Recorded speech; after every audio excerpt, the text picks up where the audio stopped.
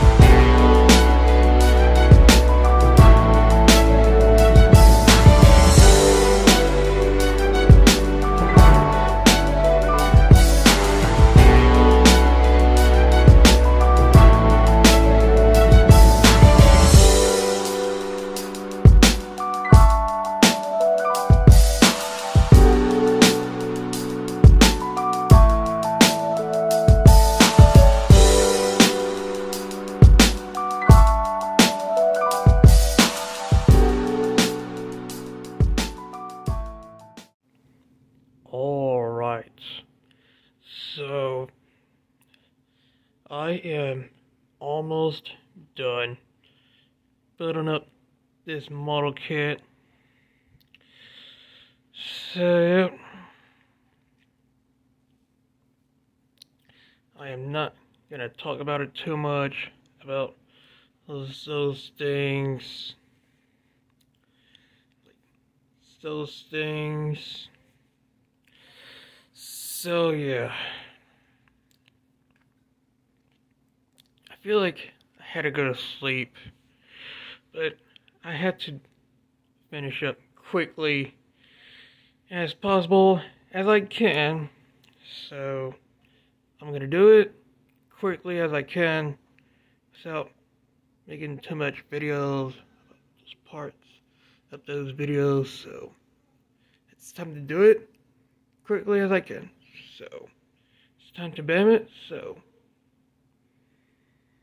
so five four three two one and bam so there you have it.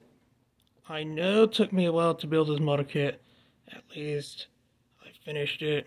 So guys, I started to build this model kit before last day of school.